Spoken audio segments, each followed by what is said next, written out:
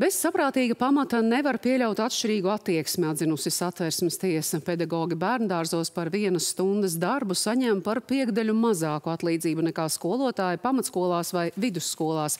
Un tam nav nekāda pamata. Kaut arī valsts bija apņēmusies nevienlīdzīgo situāciju labot no 2025. gada, satversmes tiesa uzdevusi šos nosacījumus, kas skar vairāk nekā 12 tūkstoši izglītības darbinieku, novērst agrāk no nākamā gada. Stāsta Vita Anstrate. Jautājums, vai tas ir taisnīgi, ka bērnu dārzos pedagogam par stundas darbu maksā mazāk nekā skolās strādājošajiem cilāts gadiem, un šāda nevienlīdzīga attieksme pastāvējusi ilgstoši. Nu, satversmes tiesa teikusi savu pēdējo vārdu. Tiesas sēdē ar lietas dalībnieku piedalīšanos mēs mēģinājām skaidrot, vai šādai atšķirīgai attieksmei ir leģitīms mērķis. Nesadzirdējām, nesadzirdējām, ka būtu tam kāds pamatots izskaidrojums.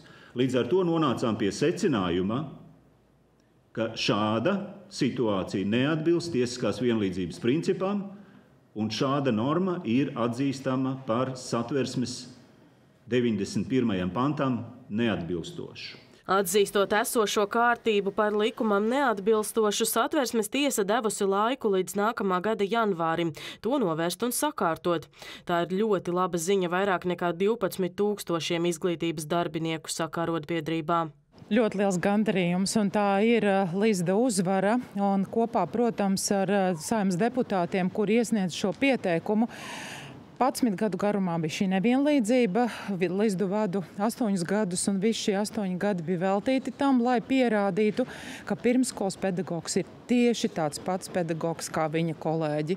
Un tā stunda ir situsi, un turklāt ar satversmes tiesas spriedumu. Ja. Te gan jāpiebilst, ka Izglītības un zinātnes ministrija un valdība kopumā bija apņēmušās šo labot no 2025. gada.